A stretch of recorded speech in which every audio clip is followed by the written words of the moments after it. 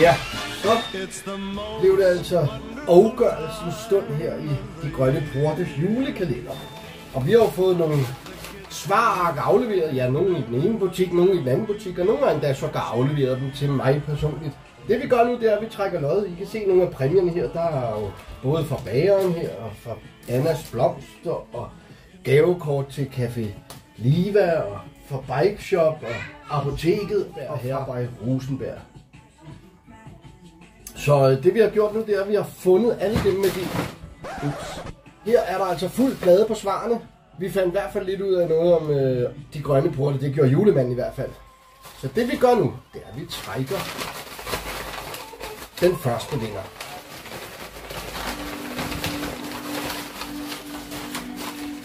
Og det skal jo få rigtigt til, så derfor så lukker jeg øjnene.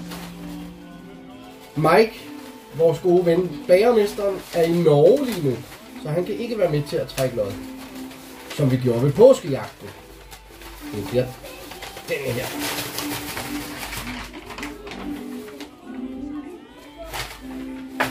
En Bettina, og der er et telefonnummer på.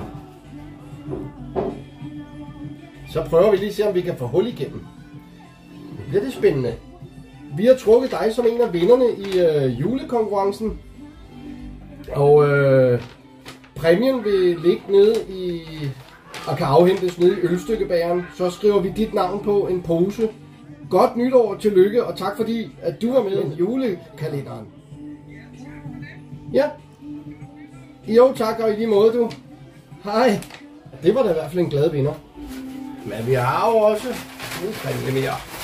Nu er det den næste. Nu bliver det spændende. Jeg lukker øjnene. Det bliver godt ned i bunken. En lidt krøllet sæde.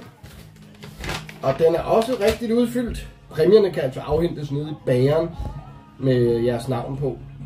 Der ser ikke ud til at være hul igennem her. Men til tillykke også til den vinder. Vi må hellere lægge den over i bunken. Ja, den gik på telefonsvar.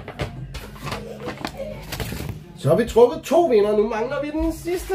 Oh, det bliver spændende. Vi trækker den næste vinder. Og oh, jeg skulle lukke øjnene. Det bliver denne her.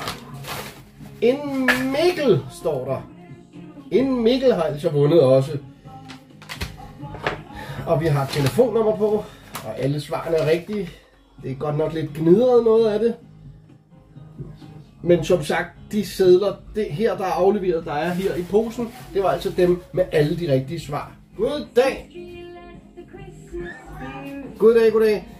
Nu skal du høre, Mikkel, du har været med i øh, julekalenderen her, i øh, julekonkurrencen.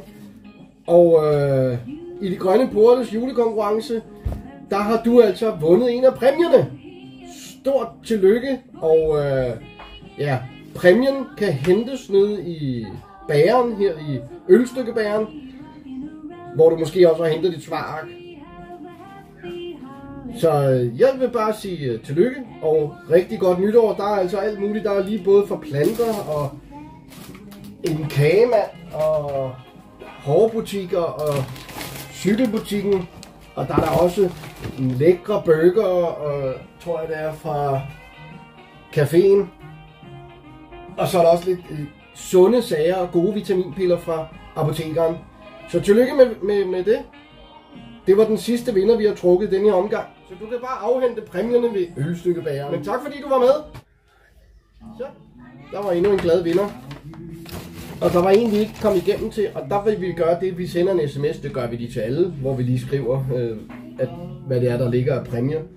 Men altså, der er jo blomster, der er cykelhjelme, der er hårprodukter, der er gavekort til burger og alt muligt i caféen og kaffe og,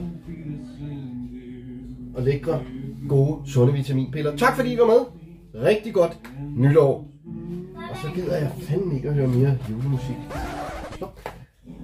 Den højeste kunst Øj.